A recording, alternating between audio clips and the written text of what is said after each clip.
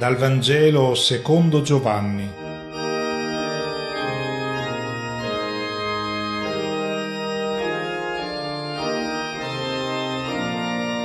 Una buona Pasqua a tutti.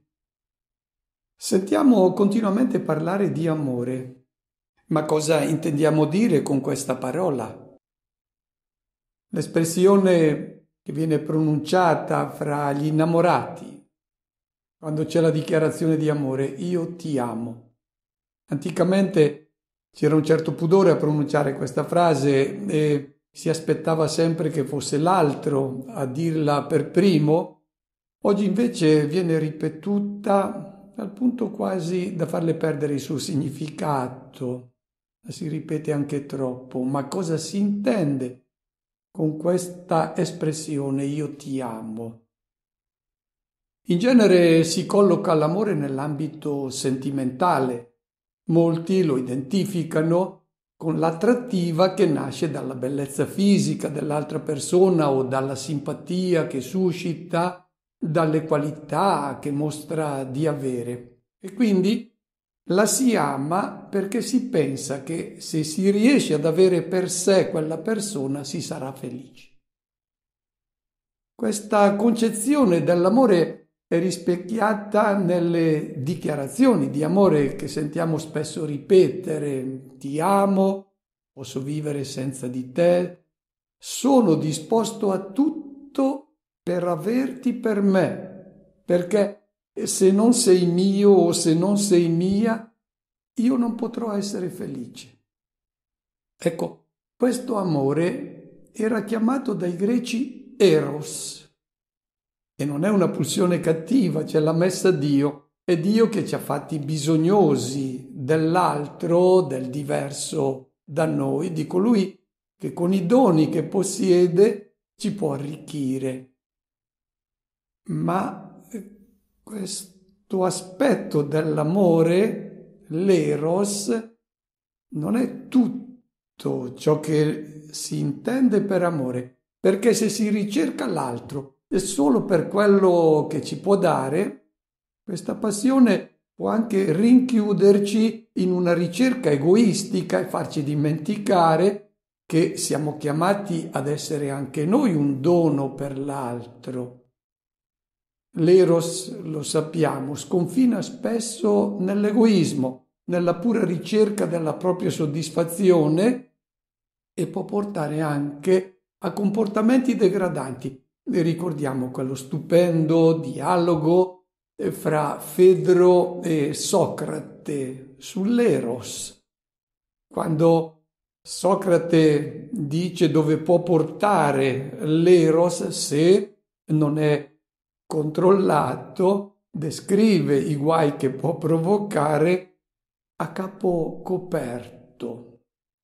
Difatti se i rapporti interpersonali sono basati soltanto su questa pulsione erotica, sull'attrazione naturale, questi rapporti interpersonali sono labili, basta poco per rovesciarli e distruggerli. È difficile stabilire legami duraturi, definitivi e fedeli a partire solo dalla pulsione dell'eros. Questo amore ci viene dalla natura biologica, non può venire comandato, viene spontaneo dalla nostra natura. Nel brano evangelico di oggi Gesù ci parla di un amore che non deriva dalla nostra natura biologica, viene da una nuova natura, quella dei figli di Dio, e questo amore non poteva che essere presentato con un nome nuovo, non viene chiamato Eros. Del resto, il termine Eros non compare nel Nuovo Testamento. Questo amore di cui ci parla Gesù nel brano evangelico di oggi è chiamato agape, dal verbo greco agappan, un verbo che nella grecità classica non lo si trova quasi mai e che invece è diventata l'espressione caratteristica della concezione cristiana dell'amore. Il brano che adesso noi ascolteremo è tolto dal discorso che Gesù fa durante l'ultima cena e che costituisce quindi il suo testamento, sono le parole più sacre che lui ci ha lasciato. L'Evangelista Giovanni dedica ben cinque capitoli a questo discorso testamento che Gesù pronuncia durante l'ultima cena. In questo discorso Gesù richiama con insistenza il verbo amare agappan ricorre ben 25 volte e nel brano di oggi noi lo sentiremo risuonare per cinque volte e per quattro volte sentiremo anche la parola amore, agape. Gesù sta parlando non solo ai discepoli presenti nel cenacolo, ma i discepoli di tutti i tempi e dice loro ciò che più gli sta a cuore, amare, l'amore. Ascoltiamo.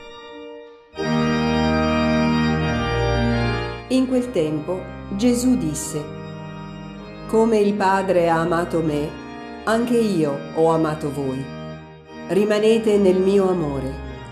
Se osserverete i miei comandamenti, rimarrete nel mio amore, come io ho osservato i comandamenti del Padre mio e rimango nel suo amore.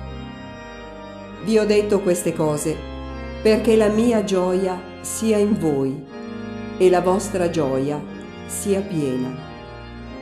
Questo è il mio comandamento, che vi amiate gli uni gli altri, come io ho amato voi.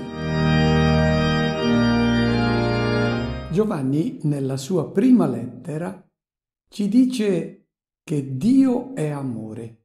Non è una definizione di Dio, ma ci dice Dio è fatto di amore. In lui c'è soltanto amore. L'amore è l'oro di cui è fatto Dio. E Gesù è l'amato, colui che è completamente coinvolto in questa vita divina che è amore e rivolge ai suoi discepoli l'invito, rimanete anche voi coinvolti in questo amore, il mio. Questo amore non ci viene dalla nostra natura biologica, che ci porta invece a ripiegarci su noi stessi, a cercare in tutto ciò che facciamo la nostra soddisfazione. Viene da una vita che non è quella della natura di questo mondo, viene dall'alto, è la vita stessa di Dio presente in noi. Se Dio è amore, adesso questa vita che ci è stata donata si manifesta in noi come si è manifestata in Gesù nell'amore. E com'è questo amore? È la gratuità, l'amore incondizionato, è la pulsione divina che ci spinge a volere il bene e solo il bene dell'altro, la vita e solo la vita dell'altro, anche se è un nemico, anche se ci ha fatto dei torti. Questa pulsione che ci è stata posta da Dio, che è la sua stessa vita, ci porta a fare del bene senza alcuna distinzione. Anche se l'altro se ne approfitta, noi non possiamo fare altro che lasciarci muovere da questo DNA divino che ci è stato donato. Allora,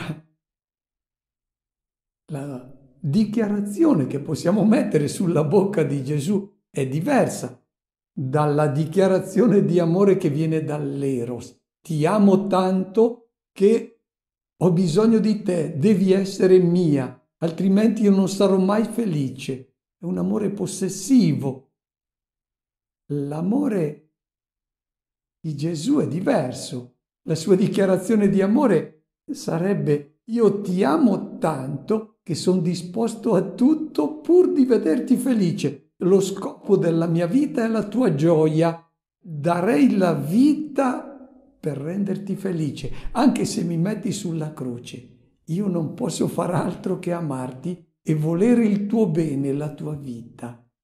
Questo amore non si oppone alla pulsione erotica che ci è stata messa da Dio, ma la sublima questa pulsione. L'eros viene portato alla realizzazione piena nel dono di sé per la gioia dell'altro e l'eros raggiunge qui il massimo della sua grandezza quando è vissuto come dono, non come possesso dell'altro. E solo così la sessualità diviene pienamente umana. E ci chiediamo adesso come dimorare in questo amore.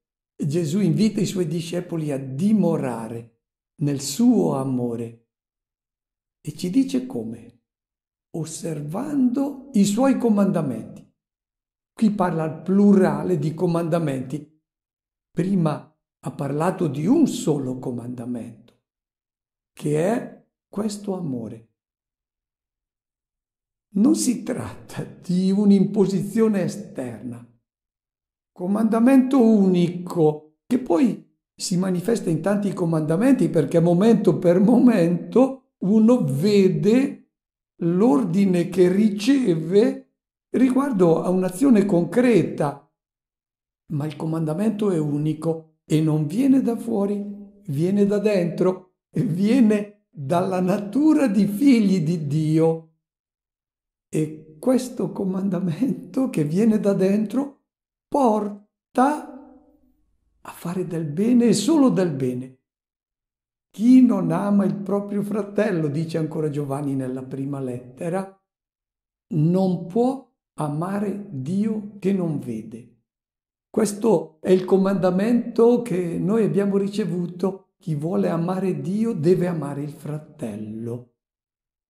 E dice ancora Giovanni nella sua prima lettera, carissimi, se Dio ci ha amato così, al punto da donarci suo figlio, noi continueremo la frase dicendo anche noi dobbiamo amare Dio. No, anche noi dobbiamo amarci gli uni gli altri, non ci chiede che gli restituiamo l'amore, del resto noi non lo possiamo fare, lui ci ha donato la vita, ci ha donato la gioia. Cosa gli possiamo restituire? La nostra lode, il nostro sorriso, che mostra la nostra gratuità per il dono ricevuto, ma noi non possiamo restituirgli l'amore che abbiamo ricevuto, lo dobbiamo fare passare questo amore attraverso il fratello. Faccio un esempio che forse ci aiuta a capire. Se mi trovo a un incrocio e sono tre minuti che aspetto che qualcuno mi lasci entrare, e a un certo punto uno si impietosisce, si blocca e magari sente anche quelli dietro che suonano il clacson, ma lui si ferma perché compie questo gesto di amore. Io riesco a entrare e che cosa faccio? Non gli posso restituire l'amore che lui ha avuto nei miei confronti, ma io non vedo l'ora di poter ripetere lo stesso gesto nei confronti di qualche altro per restituire a lui la gioia che un altro mi ha donato. È questa la dinamica di amore che Dio ha collocato nel cuore degli uomini donandoci la sua vita. Noi siamo fatti bene, siamo fatti per questo amore e noi vediamo che tutto il creato è impregnato di questa logica dell'amore gratuito. Lo vediamo quando noi nasciamo nella famiglia, riceviamo la vita gratuitamente dai genitori, non gliela possiamo restituire, ma la doniamo ad altri. Si dona ai figli, ai nipoti, nella famiglia tutto è vissuto in modo gratuito, i rapporti familiari sono gratuiti e quando l'amore non è più gratuito e ognuno comincia a calcolare ciò che gli spetta, qualcosa nei rapporti familiari si è inceppato. E qual è l'obiettivo adesso? di ciò che Gesù ci sta dicendo, rimanete coinvolti in questo amore. L'obiettivo è la gioia. Vi ho parlato di queste cose affinché la mia gioia sia in voi e la vostra gioia sia piena. C'è la possibilità di vivere sempre in questa gioia se si rimane coinvolti nella dinamica dell'amore. Noi siamo fatti per la gioia, ma per una gioia che ci sia anche quando le cose non vanno bene. Una gioia che c'è quando siamo in buona salute, ma anche quando siamo malati. Una gioia che rimane quando gli amici sono fedeli e quando ci abbandonano, ci tradiscono, sparlano di noi, questa gioia non può essere turbata. Noi ci accorgiamo che cerchiamo le soddisfazioni in questo mondo, ma non ci bastano mai. Dopo la più grande soddisfazione noi ci chiediamo, e poi, perché siamo fatti per la gioia infinita. Ecco, già in questo mondo, se noi rimaniamo coinvolti, dimoriamo nell'amore di Dio, noi siamo in questa gioia che è quella di Dio e che non può essere turbata dalle insoddisfazioni che accompagnano comunque la nostra vita in questo mondo. E il primo segno che si è bloccato l'amore di Dio in noi, è che questa gioia si spegne. Può rimanere il piacere, la soddisfazione egoistica, ma non la gioia. C'è un altro aspetto dell'amore che non è espresso con il verbo agappan sul quale abbiamo insistito tanto, questo amore che è quello di Dio, amore gratuito, ma è espresso con un altro verbo greco, philein, un amore di cui si parla poco nel Nuovo Testamento. È l'amore fra amici e anche questa forma di amore noi la troviamo nel brano evangelico di oggi perché nell'amore di amico ci vuole coinvolgere Gesù. Nessuno ha un amore più grande di questo, dare la sua vita per i propri amici. Voi siete miei amici se fate ciò che io vi comando. Non vi chiamo più servi, perché il servo non sa quello che fa il suo padrone. Ma vi ho chiamato amici, perché tutto ciò che ho udito dal Padre mio l'ho fatto conoscere a voi. Non voi avete scelto me, ma io ho scelto voi e vi ho costituiti perché andiate e portiate frutto e il vostro frutto rimanga perché tutto quello che chiederete al Padre nel mio nome ve lo conceda. Questo vi comando, che vi amiate gli uni gli altri. Noi sappiamo che cosa accade alla corte dei re di questo mondo. Sono padroni, sono i signori, hanno dei servi. Quando danno degli ordini, i servi non devono chiedere il perché devono eseguire ciò che è stato ordinato, sono pagati per questo. Noi abbiamo coltivato un po' questa immagine di Dio che è il padrone, noi suoi servi dobbiamo eseguire i suoi ordini così al termine della vita poi ci paga. Basta con questa immagine di Dio e di rapporto con lui. Gesù l'ha cancellata non vuole dei servi. Nel Vangelo di oggi ci dice voglio degli amici. Qual è la caratteristica dell'amicizia? La confidenza, la condivisione dello stesso progetto, l'impegno a portarlo a compimento in piena armonia con l'amico. Gesù non può più chiamarci servi, perché ci ha rivelato il disegno del Padre sul mondo e vuole coinvolgerci nella realizzazione di questo progetto. E qual è il disegno che lui ci ha presentato? La sua persona. Nella sua persona il Padre del cielo ci ha rivelato l'uomo nuovo, quello che vuole proporre a tutti per realizzare quel figlio di Dio che noi vediamo splendere nell'unigenito che è Gesù di Nazareth. Eccolo il progetto che lui ci ha rivelato e vuole coinvolgerci in questo progetto non come servi che vengono pagati, ma come amici. L'amicizia è segnata dal dono reciproco, gratuito, incondizionato. L'amicizia è fondata sulla gratuità. Il servizio reso a un amico non può venire pagato. Lo vediamo nella logica del regalo. Quando facciamo il regalo a un amico, anzitutto ci pensiamo bene perché è difficile sceglierlo. L'obiettivo che abbiamo non è dare qualcosa che potrebbe comperarsi anche lui, ma dargli qualcosa che gli faccia capire quanto noi lo conosciamo, quanto conosciamo i suoi gusti, come sappiamo come renderlo felice.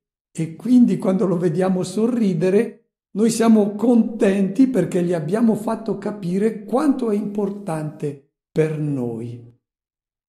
E lo scopo del regalo è proprio quello di mantenere un rapporto aperto con questa persona, perché lui un giorno ripeterà lo stesso gesto nei nostri confronti, ci farà capire quanto siamo importanti per lui e quanto ci conosce, perché anche a noi farà un regalo gratuito.